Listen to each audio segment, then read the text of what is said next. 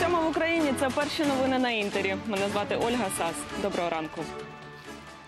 Двох наших бійців поранено унаслідок ворожих обстрілів на Донбасі. Такі дані штабу операції об'єднаних сил на 18-ту годину. Окупанти продовжують гатити по наших позиціях, зокрема із забороненого мінськими угодами озброєння. За минулу добу ворог 9 разів відкривав вогонь. Найманці застосовували гранатомети, міномети, великокаліберні кулемети та стрілецьку зброю. Ворожим вогнем накрили наші опорні пункти поблизу Кримського, Оріхового, Луганського, Шумів, Південного, Красногорівки, Мар'їнки та Павлополя. В Азовському морі українські військові планують провести широкомасштабні навчання. Про це розповів секретар Ради нацбезпеки і оборони Олександр Турчинов. За його словами, у відповідь на агресію Росії в Азовському морі відбувається нарощення сил, а також посилення берегової охорони. Секретар РНБО додав, що Україна готова відповідати на будь-які провокації з російського боку. Координатора ОБСЄ Тоні Фріша пустили не до всіх українських ув'язнених на Донбасі. Про це у своєму Фейсбуці написала уповноважена з прав людини Людмила Денісова. Натомість російська сторона передала список своїх осіб, яких координатор спеціальної моніторингової місії має відвідати в Україні. Денисова запевнила, що Україна перевірить місце перебування цих людей. Омбудсмен додала, багато українців, ув'язнених на окупованому сході, хочуть відбувати покарання на територіях підконтрольних Україні. Проте обмін блокує російська сторона. Голова МЗС Угорщини Петер Сіярто говоритиме про угорсько-український конфлікт із послом США в Угорщині Девідом Корнштейном. Про це повідомляють тамтешні змі. Така заява пролунала після того, як Сполучені Штати закликали Будапешт не блокувати співпрацю України і НАТО через освітній закон. Нагадаю, напередодні вітчизняне МЗС оголосило одного із консулів Угорщини у Береговому перс- персоною нон-грата. У відповідь Будапешт заявив, що вийшли українського консула. Голова МЗС України Павло Клімкін назвав таку реакцію абсолютно і фундаментально неадекватною і пообіцяв працевлаштування українському дипломату. Контроль дотримання швидкості на дорогах України запровадять уже з понеділка, 8 жовтня. Про це повідомив прем'єр-міністр України Володимир Гройсман. Патрульні, зокрема, почнуть використовувати радари для фіксування швидкості у місцях концентрації ДТП, а також на аварійно-небезпечних ділянках доріг міжнародного значення. За словами Гройсмана, протягом першого тижня порушників не штрафуватимуть, а лише оголошуватимуть попередження. До прикладу, за перевищення швидкості на 50 км за годину і більше водієві доведеться викласти 3400 гривень. Раніше за це штрафували на 510 гривень. Замість роботи та школи лікарня. Так закінчилася ранкова поїздка для пасажирів Миколаївської маршрутки. Ущерб заповнений людьми на швидкості. Мікроавтобус в'їхав у припарковану вантажівку. Як виявилося, водій просто її не помітив. Деталі знають наші кореспонденти. Ранок, година пік. Одна з маршруток влітає у вантажівку, що просто стояла на узбіччі. Водій пояснив, що його дезорієнтувало сонячне випромінювання зранку, коли він е, е, був на маршруті номер 43, та він допустив наїзд на перешкоду у вигляді транспортного засобу сканія крупногабаритного.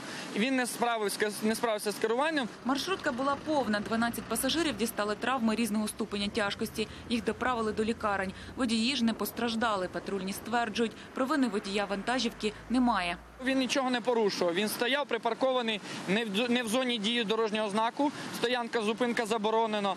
А, і з усіма правилами дорожнього руху він нічого не е, нічого не порушував. До дитячої обласної лікарні доправили сім постраждалих унаслідок ДТП. Після обстеження та надання медичної допомоги шістьох відпустили додому. Ще одну дитину залишили у стаціонарі. Загрози її життю немає. Один ребенок остался у нас, вот, э, там э, травма носа, вот, и он остался у нас под наблюдением.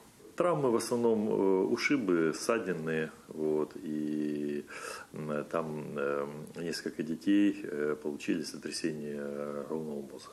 А от дорослим пасажирам маршрутки пощастило менше. Дві пенсіонерки у травматологічному відділенні з переломами. Наскільки серйозні ці травми, лікарі прогнозувати наразі не беруться. У одной заподозрен перелом костей таза, В общем, на э, компьютерной томограмме, которую уже сделали, э, выявлено там перелом боковых масс крестца и перелом четвертого поперечного отростка справа. А вторая больная подозрение на э, дна, перелом дна вертлужной впадіни. Чому водій маршрутки не помітив вантажівку та чи був він тверезим, встановлює експертиза. Відкрито кримінальне провадження. Винуватцеві ДТП загрожує до трьох років позбавлення волі. Стасія Старовойт, Марина Михайловська, Олексій Уманський. Новини телеканал Інтер. Миколаїв. У Вашингтоні запалили свічки, вшановуючи роковини голодомору. Ця акція почалася ще 1 вересня і має відбутися в найбільших містах світу. Подія в американській столиці збіглася з рішенням Сенату США, який визнав голодомор геноцидом проти українців. У такий спосіб було поставлено крапку в історичних суперечках, які тривали не один десяток років. Сенатори у своїй резолюції засудили радянський режим та висловили співчуття всім, хто пережив цю трагедію, а також родичам загиблим загиблих. Американські українці весь цей час тисли на своїх конгресменів, вимагаючи офіційного визнання геноциду. Число загиблих внаслідок руйнівного землетрусу та цунамі на індонезійському острові Сулавесі дедалі збільшується. Їх уже 1558. Про це повідомляє Національне управління з ліквідації наслідків, наслідків стихійних лих. Ще 2,5 тисячі постраждали, 113 вважають зниклими безвісти, а понад 150 і досі чекають на порятунок під завалами. Нагадаю, стихійне лихо накрило Сулавесі 28 вересня. Спочатку острів сколихнув землетрус. Він уже викликав потуж, потужне цунамі. Хвилі заввишки з триповерхівки повністю змили місто Палу та селище неподалік. Консолідований удар Нідерланди та США в один день звинуватили ГРУ Росії в кібератаках. Нідерланди, зокрема, повідомили, що у квітні цього року запобігли хакерській атаці проти організації заборони хімічної зброї, яка розслідує хімічні атаки в Сирії та отруєння скрипалів. Чотирьох росіян із дипломатичними паспортами, підозрюваних у підготовці кіберзлочину, вислали із країни. Мін'юст США натомість звинуватив сімох офіцерів російської розвідки у спробі зламати мережі антидопінгових агентств та інших організацій. У МЗС Росії обвинувачення назвали зрежисованою акцією. Кубинські сигари з літературним присмаком виявляється таємниця символ України у процесі виробництва сигар. На фабриках уже кілька століть є люди, які розважають робітників читанням. Усі подробиці дивіться далі. Чому кубинські сигари налаштовують на роздуми? Бо їх виготовляють за особливою технологією під літературний акомпанемент. Попри численні легенди про те, що справжні кубинські сигари скручують просто на оголених тілах прекрасних мулаток, насправді цей процес значно прозаїчніший. Кожен виріб натреновані фахівці виготовляють вручну з натурального продукту тютюнового листя. Щоб працівники не втомлювалися від одноманітної роботи, їх розважають спеціально навчені люди, читці. Зазвичай це професійні диктори. Тричі на день вони підходять до мікрофона і вголос читають новини, художні твори, навіть анекдоти. Коли є читець, це велика перевага. Це людина, яка вчить нас чогось щодня, розповідає, що робиться в країні і в світі, і про те, над чим ми працюємо. Уперше професія чиття з'явилася у 19 столітті. Тоді на фабриках у гучномовці зачитували інструкції для роботи і популярну літературу. Для робітників це було своєрідною освітою. Наслухавшись Шекспіра, Дюма, Сервантеса, тютюнові фабрики і бренди сигар почали називати Ромео і Джульєтта, Монте-Крісто, Санчо Панце. У 2012 році традицію читання для працівників визнали нематеріальною культурною спадщиною ЮНЕСКО. Це чудова і унікальна робота. Вона дозволяє долучитися до культури і багатьох інших сфер суспільного життя. Утім, зараз індустрія кубинських сигар переживає не найкращі часи. Економіка країни слабка, важливий ринок США і надалі закритий для кубинських виробників. Щоб зменшити витрати, задумуються і над скасуванням посади чиття на фабриках.